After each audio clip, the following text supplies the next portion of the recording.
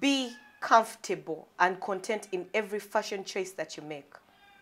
If you're okay with the pom pom shorts, don't go somewhere n'ogamba lwaki onswaziza lwaki tewaŋŋambye ne nyambala bulungi it means you made that fashion choice so Yes. dress your body in a way you, that would you would still remain comfortable in any place mm. nti bw'aba akugambye ah wano tuveewo tuddeko Content wali and happy. tojja mugamba nti eh, enga sambadde Tojja. bulungi Yes. it means nawe okimanyi nti oli indecent. wabyambadde to- to- Oshegera. to- to- Si But if you are comfortable- yes, but if you are comfortable in whatever it is that you're wearing and you're going to wear it well with Without confidence having- then enjoy your life